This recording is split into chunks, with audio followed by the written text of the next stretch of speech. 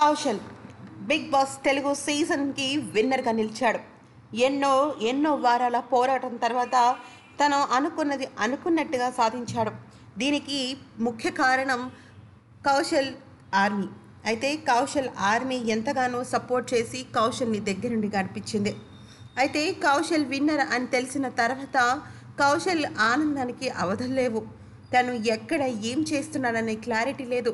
కళ్ళల్లో నీళ్ళు తన్నుకొస్తున్నాయి. గుండెల్లో భావోద్వేగాలు పొంగుకొస్తున్నాయి.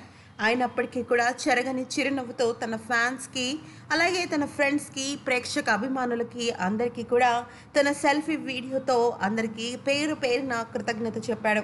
ఇక అదే తరుణంలో కౌశల్ని ఎవరైతే టార్గెట్ చేశారో వాళ్ళ గురించి కూడా చెప్పుకుంటూ వచ్చాడు.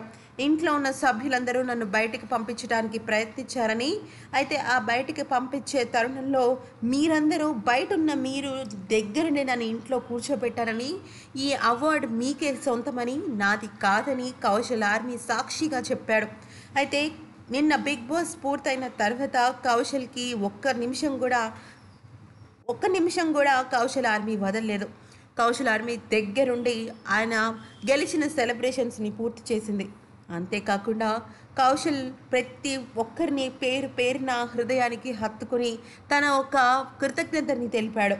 అంతేకాకుండా థ్యాంక్ యూ లేదా మీ కృతజ్ఞతలు అని చెప్పడం చాలా చిన్న విషయం అని కౌశల్ ఆర్మీకి నేను ఖచ్చితంగా రుణపడి ఉంటానని దానికి తగ్గట్టుగా నేను శ్రమిస్తానని చెప్పాడు కౌశల్. మరి విన్నారు కదండి ఎన్నో లేటెస్ట్ మరియు తాజా అప్డేట్స్ కోసం దయచేసి మా ఛానల్ని లైక్ చేయండి షేర్ చేయండి సబ్స్క్రైబ్ చేయడం మాత్రం మర్చిపోకండి.